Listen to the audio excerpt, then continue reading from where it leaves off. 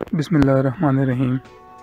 Michael Hart اپنی کتاب سو عظیم آدمی میں حضرت محمد صلی اللہ علیہ وآلہ وسلم کو سب سے اوپر یعنی پہلے نمبر پر رکھتے ہیں۔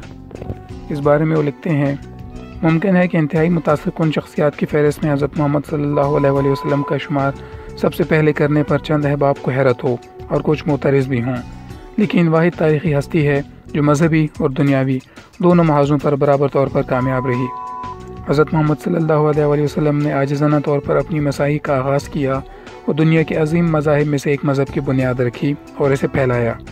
وہ ایک انتہائی مؤثر سیاسی رہنما بھی ثابت ہوئے۔ آج تیرہ سو برس گزرنے کے باوجود ان کے اثرات انسانوں پر ہنوز مسلم اور گہرے ہیں۔ اس کتاب میں شامل متعدد افراد کی خوش قسمتی رہی کہ وہ دنیا کے تہذیبی مراکز میں پیدا ہوئے اور وہیں ایسے لوگوں میں پلے بڑھے جو عموماً اعلیٰ تہذیب یافتہ یا سیاسی طور پر مرکزی حیثیت کی اقوام تھی۔ اس کے برعکس ان کی پیدائش جنوبی عرب میں مکہ شہر میں پانچ سو ستر عیسوی میں ہوئی۔ یہ تب تجارت، فنون اور علم کے مرکز سے بہت دور دنیا کا دکنوسی گوشہ تھا۔ وہ چھ برس کے تھے جب ان کی والدہ کا انتقال ہوا۔ ان کی پرورش عام وضع پر ہوئی۔ اسلامی تاریخ ہمیں بتاتی ہے کہ وہ ان پڑھ تھے۔ پچیس برس کی عمر میں جب ان کی شادی ایک اہل ثروت عورت سے ہوئی تو کہیں جا کے ان کی مالی حالت کچھ بہتر ہوئی۔